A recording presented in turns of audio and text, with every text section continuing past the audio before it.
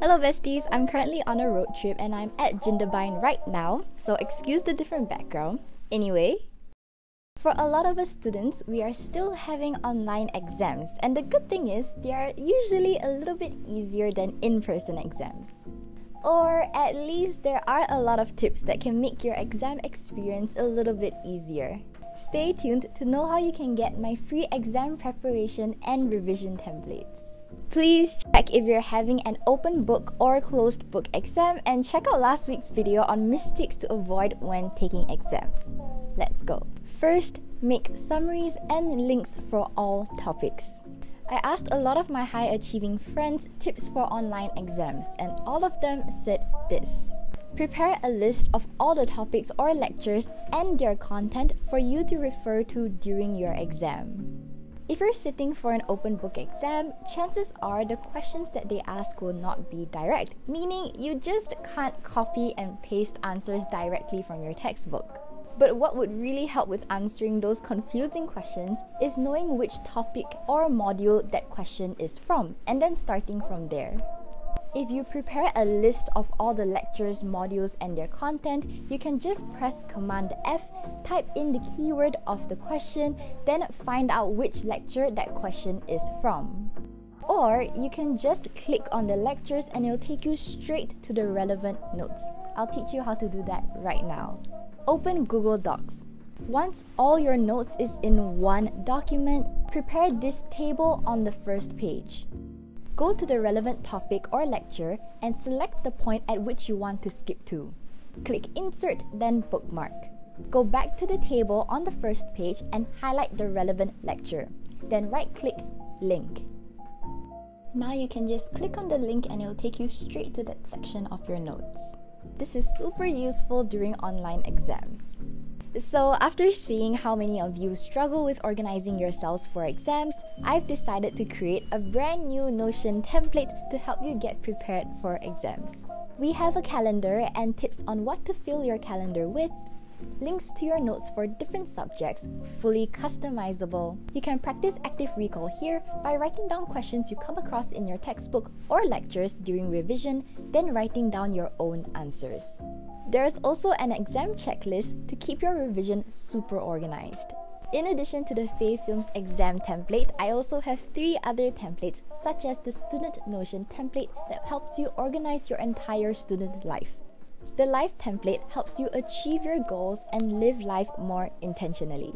And finally, my free schedule template helps you plan your day in detail and get all your important tasks done efficiently.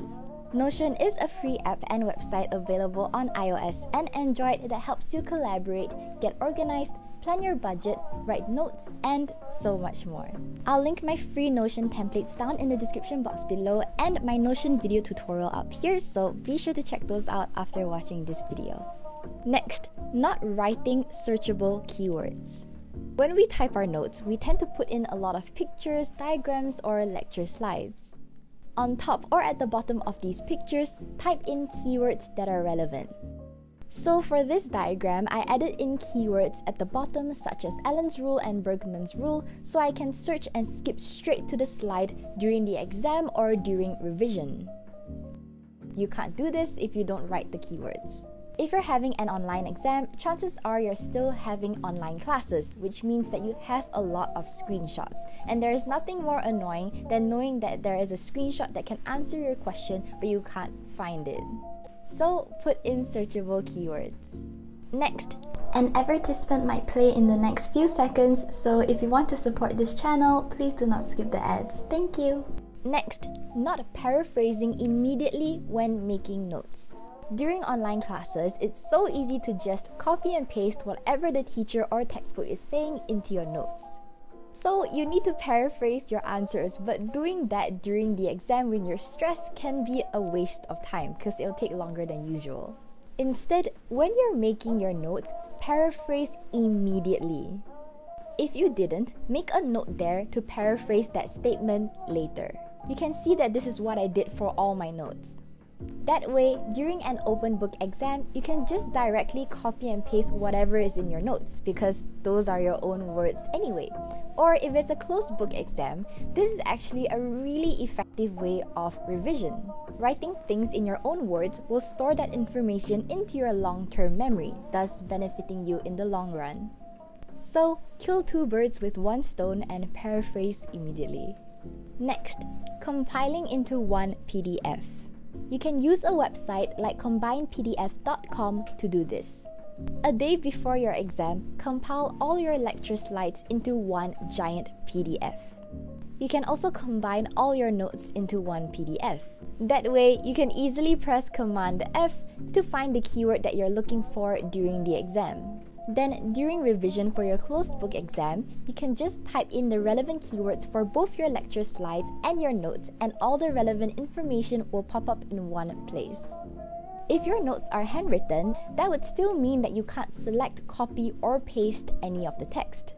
If that's the case, download Wondershare PDF element and perform OCR.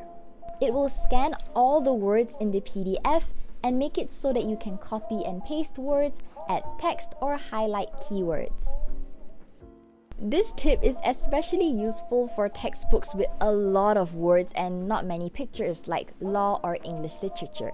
Being able to annotate your handwritten notes or the textbook will make it much easier to navigate than just staring at a giant wall of text. Next, not referring to the question. A thing about online exams is that you have to scroll down to answer the question, but then you can't see the question anymore. There are a lot of times where I've written an entire answer only to scroll back up to the question and notice that I've gone completely off topic. So grab a piece of paper and write down the keywords of the question like this. If you can't have extra pieces of paper on hand during the exam, just copy and paste keywords from the question into your answer box. That way, you don't have to keep scrolling up to refer to the question and you won't go off topic. You might think that this is wasting time, and I did too initially, but taking 30 seconds to do this is much faster than having to redo the entire question. Next, Look at the allocated marks. In objective questions, they'll usually allocate the amount of marks according to the time you need to answer them. 3 marks for a 3 minute question and 1 mark for a 1 minute question. So, skip to the higher mark questions and answer those first because if you run out of time, you can just guess the answers to the lower mark questions. That way, the amount of marks you lose will be much lower. If you've made it this far, comment down below if you prefer online exams or in-person exams and why. Like this video, subscribe and turn on the notification bell and set it to all so that you do not miss out on any future uploads. Stay tuned for my road trip vlog and thank you guys for 543,000 subscribers and I'll see you all in my next video. Bye bye.